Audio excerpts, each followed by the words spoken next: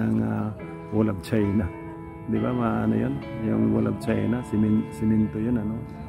Uh, yung parang bakod. Ga ganun lang sana ang, kana, ang gagawin na para ma, para maproteksyonan yung uh, uh, beaches natin or shoreline na hindi na makapasok yung uh, uh, dagat sa mga kabayanan sa syudad, downtown area, ganon na kagaya ng nangyari sa Super Typhoon Yolanda na talaga maraming namatay. Eh, kung meron yung ano, yung shoreline protection o kagaya nito ngayon na lumabas tayo yung Pangpin Project, ayun. Talagang ma-protection na, na yung mga mga buhay ng tao, mga properties o ano man.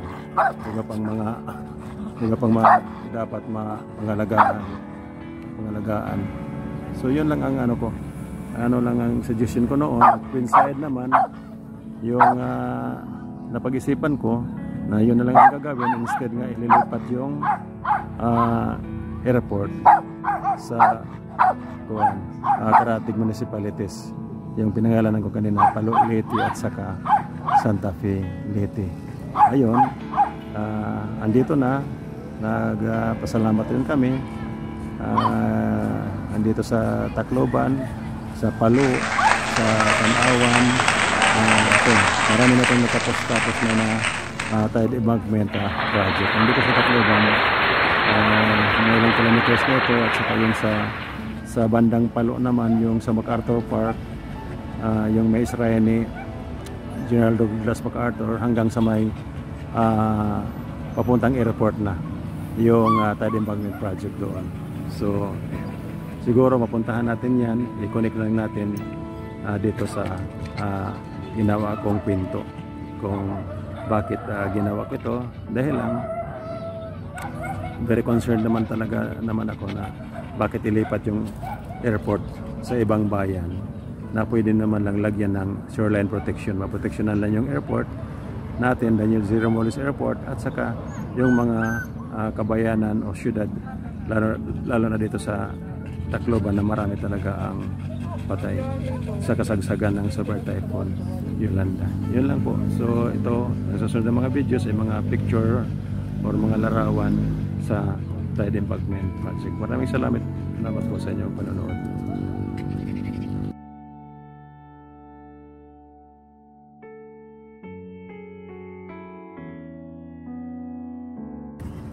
Okay.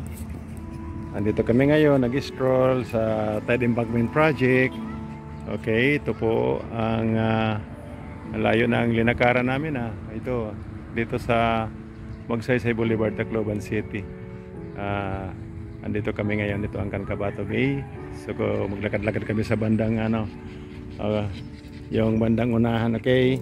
Sige, ito si mga dogis ko, si uh, Love Love Kubi and Love Love Chu, uh, Luna yan okay so ito po ang uh, uh, tide embankment uh, project na may nag uh, ano to ang in charge ng project ang ating uh, Department of Public Works and Highways. So uh, ito pong building na ito ay uh, uh, Lions uh, din restaurant or resto bar. Okay? Hindi pa natapos-tapos. Oo uh, nasira ito.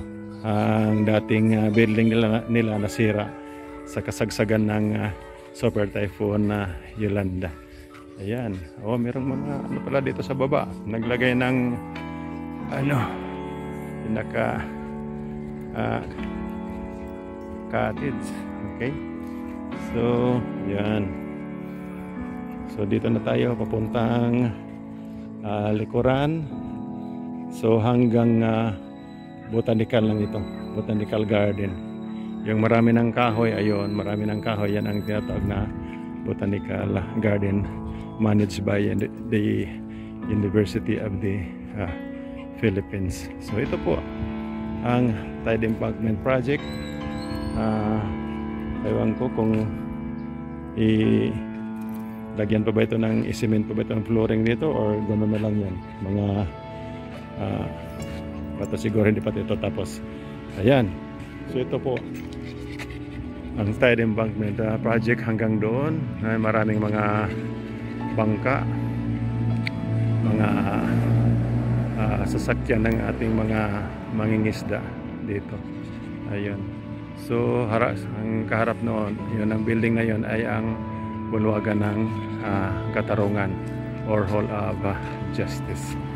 So yun ang Mount Danglay. Nakikita na sa Basi Samar yan. Yan oh, Island of Samar. Uh, andun pa yung uh, ano doon yung municipality of Basi Samar. At saka yung Hinamok Island naman ito. Itong video ko ngayon. Uh, medyo hindi na masyadong makikita kasi foggy. At saka ito ang airport ng Tacloban airport yan. Ito meron ng mga ingisda meron ng mga ingisda uh, sa dagat. Yan. Ay nag-stroll dito oh. May dala-dala ring aso. Uh, okay. So ito po ang kalagayan dito.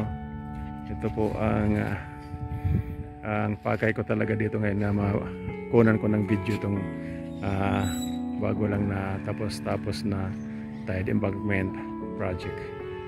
Okay. Sa ginawa po ito para protection ng uh, uh, shoreline protection para po sa mga ano natin mga of course mga residents sa Tacloban uh, City at saka yung mga ka, of course mga uh, properties na noong kasagsagan ng Super Typhoon Yolanda ay marami ang nasira maraming na nawala, namatay na mga kuan uh, membro membro ng uh, pamilya. Ayun. Uh, malaking tulong na po ito. Malaking tulong na po ito. Uh, bigay ito ang pera ito of course galing sa mga international non-government organizations natin natin o iba-ibang ibang-ibang bansa na naga uh, donate uh, para ma-realize ang project na ito. So maraming project po ang naibigay dito sa uh, ibang-ibang bansa. Para sa naman yung uh, uh, lalo na yung uh, mga buildings na gagawin na evacuation centers during uh, uh, may mga calamity or typhoon na darating ano man na calamity uh, yun. Uh, pinaghandaan na talaga. Uh, so maraming salamat po sa inyong pagsubaybay sa channel ko. Ito namimingwit uh, ano yan yung binibingwit niya yung pusit. Pusit okay